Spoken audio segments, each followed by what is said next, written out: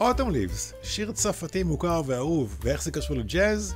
ובכן ג'וזפין בייקר. היא אחת הסנוניות הראשונות שמביאות את הג'אז האמריקאי לפריז. וזה לא נגמר שם, בהמשך הדרך נראה את ג'אנגו ריינהרדט ואת סטפן גרפלי, שלוקחים את הגרעין הזה ומצמיחים אותו לסגנון צרפתי מובהק, חי ובועט עד היום. פילוסופיה של הג'אז מתחילה לחלחל בכל רחבי אירופה, ופתאום אנחנו מתחילים לקבל סגנונות אירופאים מבריקים. ג'אז איטלקי, ג'אז גרמני, ואיזה סצנה מדהימה יש בסקנדינביה.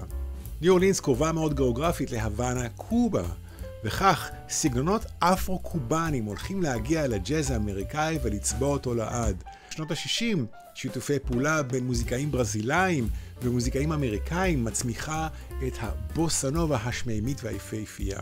בדיאלוג בין הג'אז האמריקאי ובין סגנונות מוזיקליים מהעולם כולו, תעסוק הסדרה החדשה שלי, דיאלוגים בג'אז.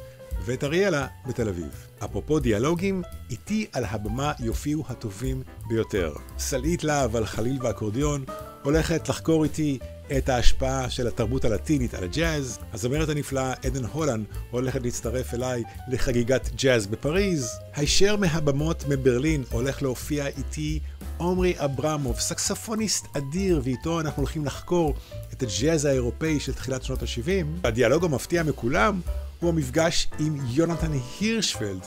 אנחנו הולכים להפגיש את פבלו פיקאסו ומיילס דייוויס על במה אחת. סקרנים? גם אני. דיאלוגים בג'אז, בית אריאלה, ימי ראשון בערב, נתראה.